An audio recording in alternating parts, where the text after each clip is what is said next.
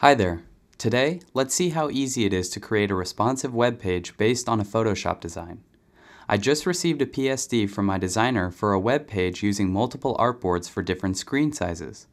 As a web developer, I want to use this PSD to help me create a responsive website in Dreamweaver.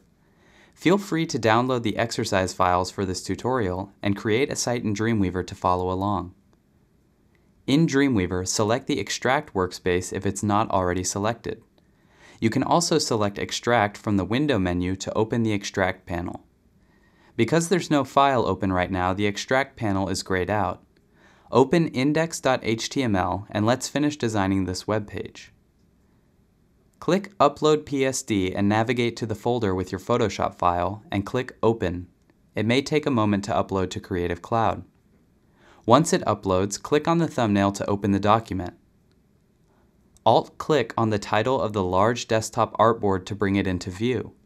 First, I want to add the text that I see in the PSD into my web design. Click the Layers button to view the PSD layers and navigate to the right spot. Click the large desktop layer and drill down through the architecture folder until you find the Urban Strokes layer. Choose Copy Text to copy it to your clipboard. Then, double-click the H2 element in Live View to paste it in. Voila! Next, we're going to get the CSS information for this text to make it display as beautifully as it looks in the comp. As you can see, there are certain text properties that don't change across screen sizes. Things like font family, color, and font weight are the same for all of the H2 headings in all screen sizes. So we'll copy these first and set them as global properties. In the Extract panel, uncheck Font Size so that the only properties selected are font family, color, and font weight. Then click Copy CSS. Next, with the H2 element selected in Live View, expand the CSS Designer panel and select the H2 selector in the Prism Theme CSS file that shows a global media query. Right-click and select Go to Code, and right-click again to paste the code. Notice the new font styling across all of the H2 headings on the page. Now we want to take care of the CSS properties that do change across different screen sizes. In the case of this header text, the font size changes as the screen dimensions do. With the text for the large desktop still selected, uncheck everything except font size, then click Copy CSS.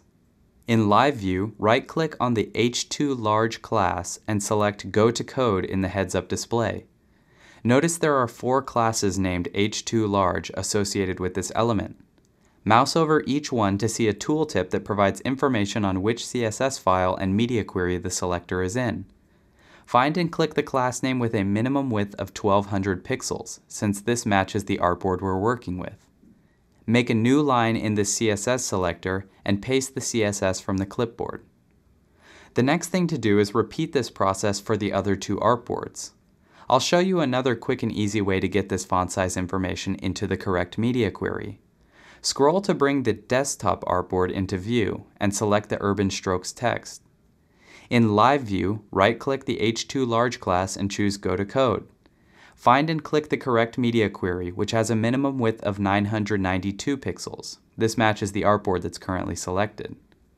Place your cursor just after the curly bracket for the selector in the code view and press Return or Enter on your keyboard. Notice the contextual code hint window that pops up. Because the text is selected in the Extract window, you can quickly and easily choose to set any of its CSS properties directly in Code View. Double-click the font size property to paste it in.